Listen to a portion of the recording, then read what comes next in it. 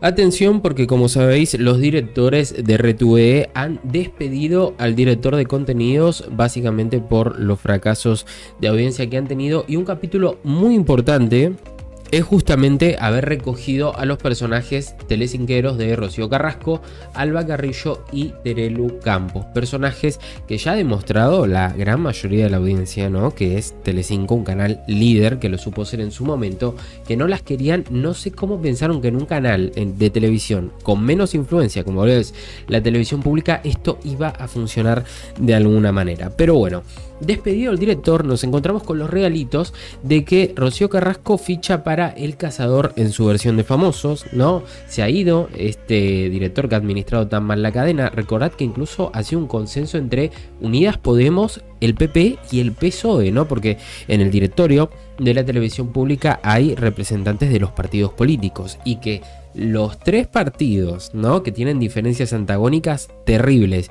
estén de acuerdo en que este chaval lo ha hecho mal y me parece que dejar estos regalitos de Rocío Carrasco, Alba Carrillo, Terelo Campos, entre otros, es una falta de respeto, ¿no? Y hay un tongo tremendo. Recordad también que nuestro amigo Antonio David Flores la semana pasada estuvo analizando esto, ¿no? Eh, en casi cuatro horas de directo, donde también se habla que la resistencia podría ir a la televisión pública, pero bueno, el daño ya está hecho una vez más con el tema este de, los personajazos que han traído.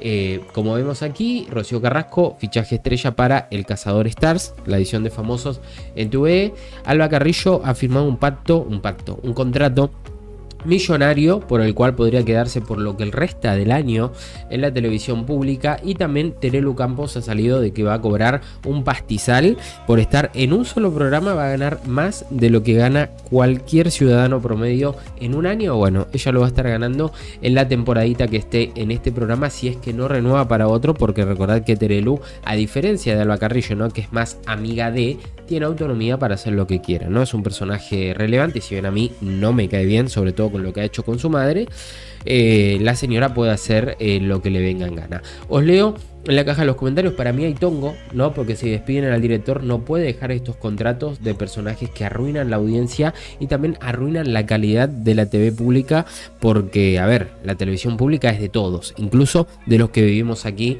y no hemos nacido aquí.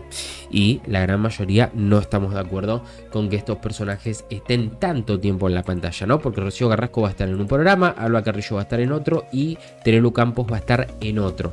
Por lo cual el copamiento de personajes telecinqueros en la televisión pública es total. Muchísimas gracias.